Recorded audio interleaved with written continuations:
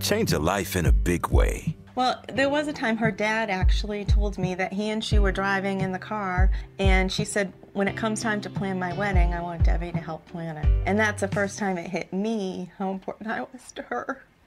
It, she's just been a blessing in our lives. Volunteer or donate to Big Brothers Big Sisters. Start something. And if you have a big experience, share it at bigbrothersbigsisters.org.